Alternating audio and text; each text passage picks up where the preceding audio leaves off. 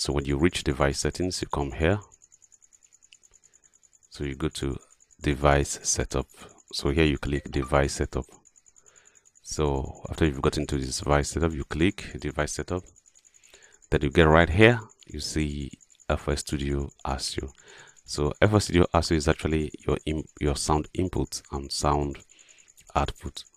Then we can also go into check um, for example we'll go back to then we'll check your VSTs so your VST is actually the input and output of your sound card we're going to check.